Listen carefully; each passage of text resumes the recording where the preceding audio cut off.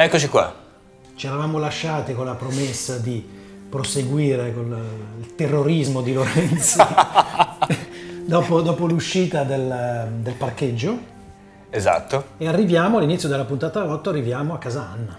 E lì anche quella scena è stata molto lunga, molto faticosa e anche lì provate a immaginare insomma la, la ricerca della concentrazione da parte di tutti, e non solo degli attori ma di tutta la troupe. E ad un certo punto dal bar che si trovava alla stradina sotto proviene della musica, anche abbastanza ad alto volume. Secondo me che quando sapevano che girava lui a Trieste facevano di tutto. Sapendo che sono un tipo abbastanza Sì. tranquillo e tollerante, per cui io ho cominciato a litigare col regista dicendo io mai avrei accettato di doppiare una scena del genere, che facessero Sì. come diavolo gli paresse, ma... E niente, il, il proprietario, il gestore del bar si è rifiutato di far smettere chi suonava dal vivo, perché era della musica dal vivo, era il momento dell'aperitivo che a Trieste è sacro. Capirai.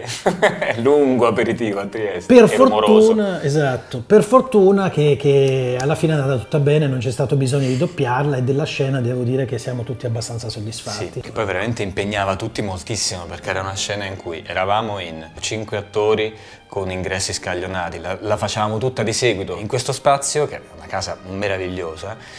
Molti vanno a fare le foto là sotto peraltro, quindi A quanto pare. a quanto pare. Però con tutto quanto pavimento a parquet, quindi il legno che scricchiola, grandi problemi di mh, fonica, in più tutti quanti lì impegnatissimi per gli effetti da fare al momento giusto. Anche lì quella, quella è una scena in cui vedete a un certo punto foglie che volano, un ventilatore che parte e i soliti effetti analogici da fare lì e poi magari cancellare. C'era una macchina complessa da, da portare a casa. E in quella è intervenuta la musica, quindi sulla psiche provata di, di Fausto e di tutti noi è stato un, fatt- un fattore stressante che poteva essere de- decisivo, pregiudicante. Invece alla fine siamo riusciti a portarla a casa in relativamente pochi shack, essendo così complicata perché c'è gente che sa lavorare. E insomma. 3 milioni e 200 mila persone ci hanno dato ragione. Grandi! Ecco, questa è un'altra puntatina e ci vediamo alla prossima. Ciao a tutti. Io vado a cena con guanciale.